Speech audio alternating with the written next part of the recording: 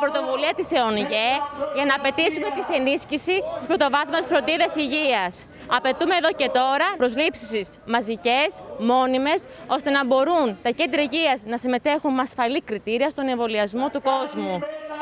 Απαιτούμε να μην μετατραπούν τα κέντρα υγείας όπως και τα νοσοκομεία σε μια νόσου, αλλά αντιθέτως τώρα να έρθουν γιατροί, νοσηλευτές, επισκέπτρε υγείας, ώστε τα τακτικά ραντεβού να μην ακυρώνονται όπως τώρα. Συγκεκριμένα στο κέντρο υγείας της Νέας Ιωνίας έχουν κλείσει το κέντρο μάνας και παιδιού, με αποτέλεσμα παιδιά και έγκυες να εμβολιάζονται δίπλα στο δωμάτιο όπου γίνονται τεστ COVID. Το τοπικό Ηρακλείο έχει μετατραπεί σε αποκλειστικά εμβολιαστικό κέντρο.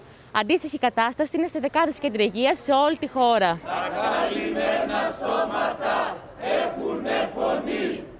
Με στην πανδημία σπάμε τη σιωπή. Ενώνουμε τη φωνή μας με τους γιατρούς όλης της χώρας, με τους εργαζομένους, ώστε η πανδημία αυτή να λάβει τέλος, ώστε η πανδημία και το τρίτο κύμα να μας βρει προετοιμασμένους.